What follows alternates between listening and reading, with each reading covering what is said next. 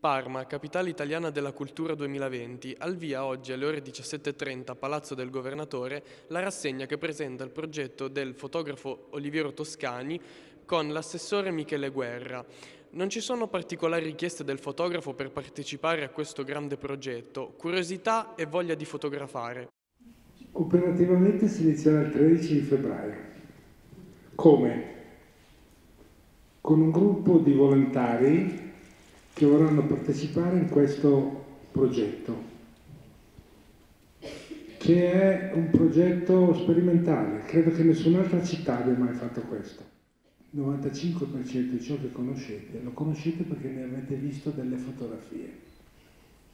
Ormai tutto quello che conosciamo lo conosciamo perché abbiamo visto le foto. Ciò che conosciamo realmente è pochissimo. Ormai viviamo in un mondo di immagine. L'immagine è la memoria storica dell'umanità. È stata inventata 150 anni fa, no? circa del 40. E da allora esiste la vera storia. Prima erano racconti, erano disegni, erano bozzetti, erano schizzi.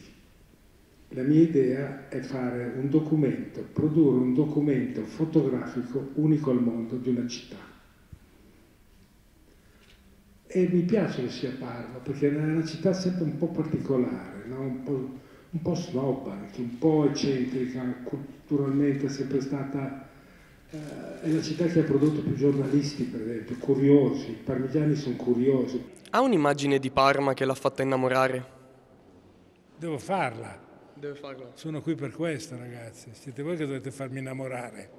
Eh, datevi da fare. Vengo qui, voglio vedere quanto bravi siete. Mi hanno detto che siete i più belli d'Italia, è vero? Eh, sono qua per vedere.